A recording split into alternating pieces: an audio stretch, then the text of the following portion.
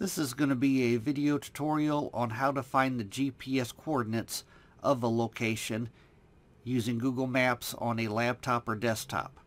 I'm going to jump over to my web browser here.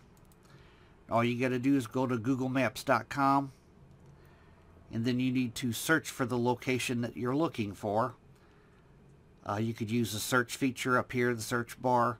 I'm, I'm going to find the GPS coordinates of the uh, Gateway, Gateway Arch in St. Louis. And to do that, the Gateway Arch is right here, as you can see. To find the GPS coordinates, it's very easy to do. All you got to do is right-click on the screen. And right there is your GPS coordinates. You can select those coordinates there by clicking on it, left, left clicking on it, and it copies the coordinates to your clipboard. Another thing you can do, I'm going to right click on it again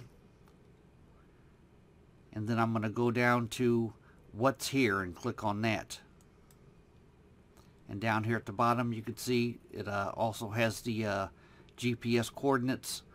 I'm going to select the GPS coordinates down here and as you can see in the pane off to the left hand side it's got the formatted version of the GPS coordinates here But that's how you find the GPS coordinates of a location using Google Maps. Thanks for watching.